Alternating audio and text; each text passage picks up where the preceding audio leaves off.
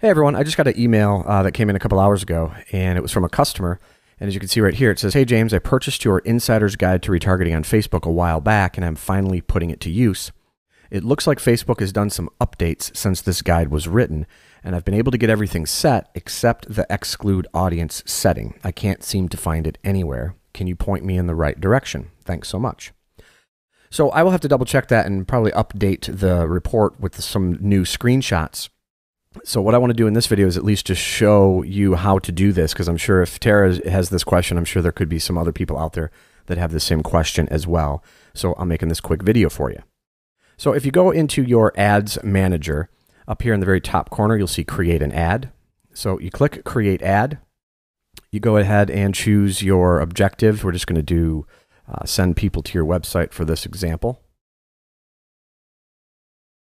And then we're going to come down here and you'll see right here. Now this will look the same whether you're using Ads Manager or Power Editor once you get to the create your ad set because that's where you actually set your audiences when you're creating an ad set. So right here in custom audiences, if I click here and select, let's say I want to put an ad in front of my leads and in front of people who have hit the squeeze page, but I want to exclude customers. So I would click on customers, and then you'll notice here, uh, when you hover over this, you'll see this little gray drop down.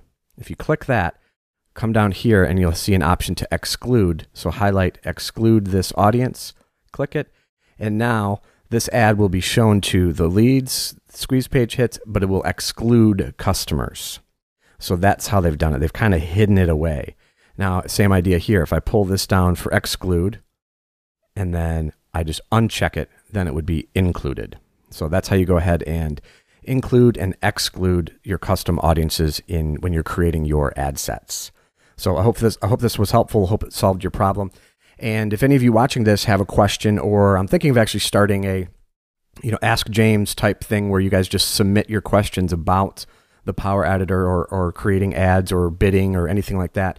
Uh, so I can just continue continue to create uh, content on a weekly basis sometimes, as you know, if you're out there creating content, it's uh, you know you, are not sure what to create all the time because you know you just don't know unless you ask people. So um, I'm thinking about sending out an email here in a, in a week or so, asking you guys uh, just to respond to the email or fill out a quick form. Uh, so I can create more quick little videos like this showing you how to actually accomplish small little, you know, how-to stuff within the Ads Manager or Power Editor. So if you have a question right now that you want to answer, just leave a comment below this video, and um, I'll see you in the next one.